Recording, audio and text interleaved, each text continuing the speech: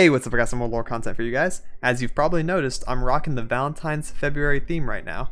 But more importantly, the patch 2.1.0 notes just dropped, along with a video trailer of Aphelios. So I'm going to take a look at what the changes are going into the next patch, giving my initial impression, you know, run through and stuff like that, and I'm also going to be watching the Aphelios video. So before I get into the content though, if you're new, please consider hitting the subscribe button to stay up to date with my content. make deck profiles, beginner friendly videos, gameplay highlights, and other LoR related stuff. The road to 5k is on the way, and I need all the help I can get, so it'd be awesome if you joined. I also stream on Twitch often, so check me out over there if you're looking for live gameplay. I've hit rank 1, got top 32 in the Monuments of Power tournament, and I'm very open to answering questions from chat. With that, let's get into the content. Let's go. So first we have a little video. I tested the audio. Audio is good. Um, I'm going to be in the way if I full screen, so I'm just going to watch it from a distance and read the cards out. It says, commune with the cosmic forces in the Veiled Temple, or just summon newfound strength through throughout Runeterra. That's all there is to it. I mean, it's so funny. It started with some like lore deep stuff. Oh my god, so philosophical. Or you could just, you know, play the broken card. Let's see. Oh, it's got music, yeah. I like it. One mana, two one elusive. You love to see more elusives in the game. This is a Targon card. Nexus Strike. Draw one and shuffle me into the top three cards of your deck. Ooh, okay, that's kind of spicy. So he's annoying. He's a lot less annoying than Zoe on turn one, at least, uh, for attack one. But he's a good draw, and then he shuffles himself into the top three. So, you, okay, so he's giving you a draw now, and he's saying, I'm going to brick your hand later in the next three cards. But if you're just like cycling, you have Pale Cascades, Guiding Touches, and like typical Targon stuff, that's not really a downside. Whereas, like, I understand the thought process and the principle behind uh, the top three cards of your deck thing. I kind of like him. He, he's he's a little bit spicy, a little bit. Um, you know what's also good about him? He's an elusive that isn't going to stick on the board. Oh, this is actually kind of healthy then. I like the way they're taking this because you're not going to super buff him and then he's going to Nexus Strike over and over like Sparklefly. And you know how unfun that mechanic is. This guy will always go away, so you can't invest too much in him. He's just a draw one. I like that. Cool. The Sky Shadows. 2 mana, 3 1. When I'm summoned, refill 2 spell mana if you behold a Nightfall card. Awesome, that's so good actually. 2 mana, 3 1. Pretty mess stats. You hate to see 1 HP because it dies to every drain on the planet. But refilling 2 spell mana for free if you behold a Nightfall card and you don't have to Nightfall him or them, whatever this is, some Skyfish. Um, wow, that's kind of sick. Um, you know what? This is really good. Nightfall, like as a mid range aggro, whatever deck, it didn't really have a super good turn two curve. It usually tried to play Dusk Petal creator on one, whatever her name is, and then like Dusk Petal Diana on attack two. And that was kind of fine if, if you could high roll it every time. But Sky Shadows is just a really good two drop. Curves, you get two spell mana. That way you can enable Nightfall in future turns. So very excited about that. The Fangs. 4 mana 3 2 lifesteal. More lifesteal, okay. Targon healing for days. Play. Invoke a celestial card that costs 3 or less. so his stat line's not very good, but he has lifesteal, and he invokes just on play. That's pretty good more um, invoking stuff. I don't really like the early game invoke cards, but I don't know. We'll see if he sees play. I, I, four mana three two is kind of I don't know. This one's a toss up for me. There's so many things that already does his job. I don't know if he's going to be relevant as all. Uh, five mana five four. The Cloven Way. Cloven. I don't know. Uh, overwhelm. Fine. Nightfall. Stun an enemy. If it's a follower, stun it again that's pretty sick actually. Um, I fear that this is going to be abused outside of Nightfall decks, of course, but this is a good five cost. You can play it after Nocturne, stun, stun it again. Sure. I mean, that's just a decent Nightfall card. I've always wanted more Nightfall stuff. I'm glad we're getting a support uh, package for it. The Veiled Temple Landmark. Okay. Four mana, each round, the first time you play two other cards, refill two mana and grant your strongest ally 1 1. It's so much. That feels so weird. It feels like a forced card. The first time you play two other cards, refill 2 mana, which is good because it keeps you going so that you can play even more cards than that. So I guess this is kind of cool. I, I, This is not going to ever happen, but you play this and you have Nocturne and you play a couple things after Nocturne's leveled and it reduces the enemy's attacks, you know, so that you can get your Fearsome hit in. And then you get 2 mana off of it as well, so you can do like a Pale Cascade play just and your strongest ally probably Nocturne is 1-1. I don't know if that's the synergy they're going for, but that's just the immediate scenario that popped into my head because I have Nightfall fresh in the mind, of course, but alright. Um, not sure what to think about that card. Starbone. This had better. Okay, cool. I was about to say it better have something to do with Messenger, and it does. Two mana burst. If you behold Messenger, grant Celestial allies everywhere one one. okay, that's kind of a cool way to take Celestials. I like this a lot. If you behold Messenger, so if you invoke him, if you like get him from all that kind of stuff, all Celestials gain one one. That's fun. So this opens a door of Iceborne Legacy. Um, Messenger. A lot of people experimented with that when Targon came out to no avail, but hey, Bone kind of supports it. Let's go. Got the Bone support. Okay, oops. Stress testing. One mana burst. Remove fleeting from all cards in hand. When I'm discarded, draw one fleeting? Oh, this is a combo card. Wow. Remove fleeting from all cards in hand. When I'm discarded, draw one. This is really sick with the 4 mana 3 3 uh, investigator card from PNZ. Um, that's just kind of sick. I can see this being potentially powerful in combo decks like that. Troll Gifts, 2 mana burst. Grant an ally regen. If they already have it, grant them 2 2 instead. So this is the gift that keeps on giving. Really, it is actually Troll Gifts. Wow. So give something regen, or if you already has regen. So this basically should read, give your Trundle plus two plus two, because that's how it's going to be used.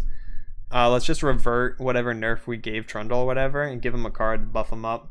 You're definitely going to float mana, so FTR is just going to be good. You can float mana, play Trundle, play Troll Gifts on him, and then he's just a problem. If not, you're giving stuff regen, which is kind of relevant, not the most powerful keyword. It's usually only good on, you know, Trundle and you know champions and such. What is this thing?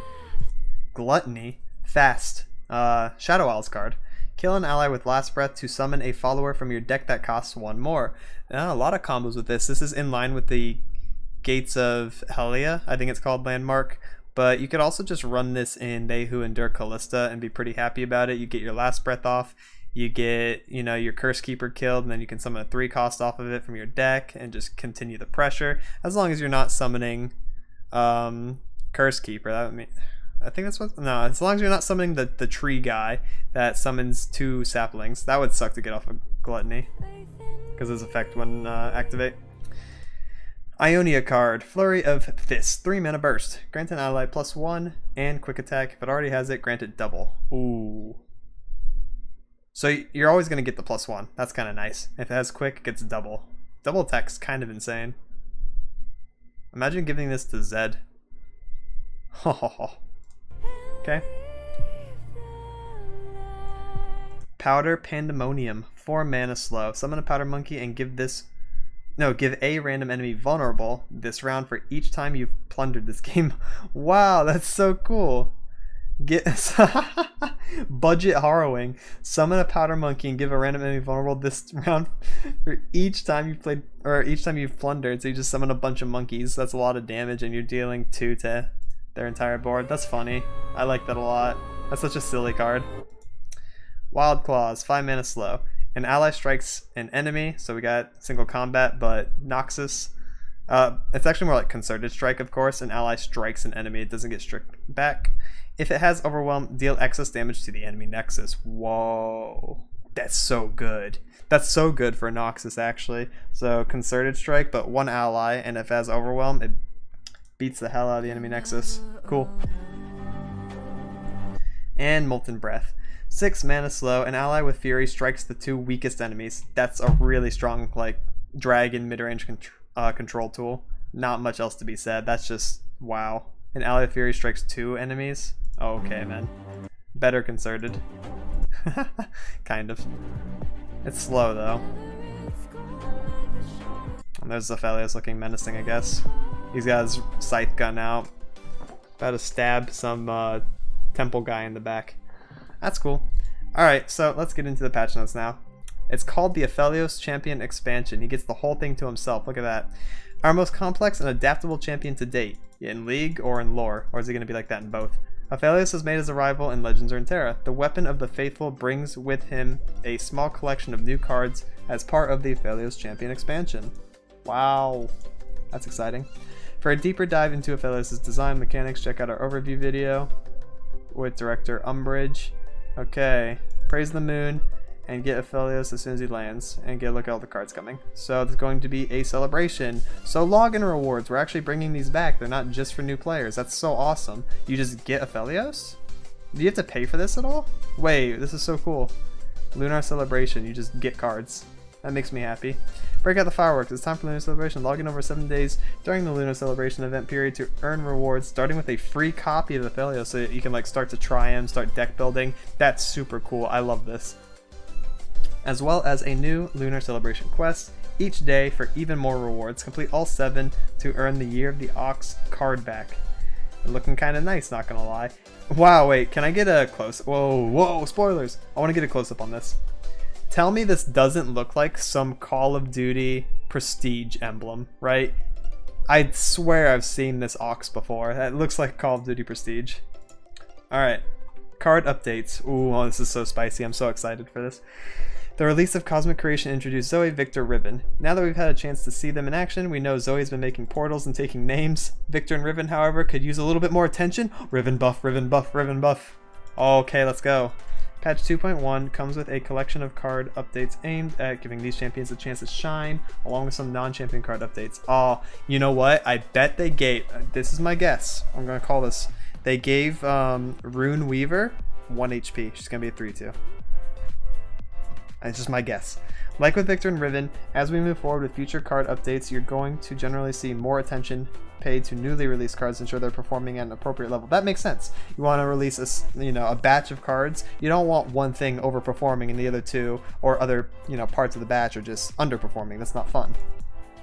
So this makes sense. However, that doesn't mean cards from Foundations won't see adjustments. This philosophy is specifically in regards to live design. Yep, I get it. 100%. Yeah, yeah, yeah, yeah. Okay, let's it. MF oh, they took away Overwhelm? Hmm. Miss Fortune's level 2 lethality does not quite line up with the difficulty of her quest. They're saying she's too easy, bruh. This be too easy. Uh, we want to slightly reduce her ability to immediately end the game given she levels up. I think that will actually be relevant uh, in Scouts. In Pirate, MF never levels, so let's kind of throw that out the window. Scouts if MF levels, I'm pretty sure they still win most of the games. However, not having Overwhelm will make them lose, I'd say, 3 out of 10 extra times. So this is a relevant nerf. Uh, this will actually hurt quite a lot. This also makes it to where, like, MF cannot attack over units that she finishes, right? So now you can cheat block her, this is probably the biggest implication now that I'm thinking about it. Miss Fortune would normally attack, let's say you put a 3 HP unit in front of her, um, and then she would kill it and then deal the 4 damage to face because she has overwhelm and the unit went missing during combat.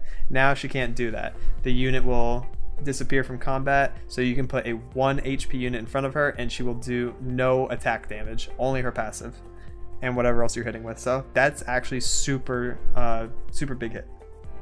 Viktor uh, buffs, I'm assuming from what they were saying. Okay, so level up requirement.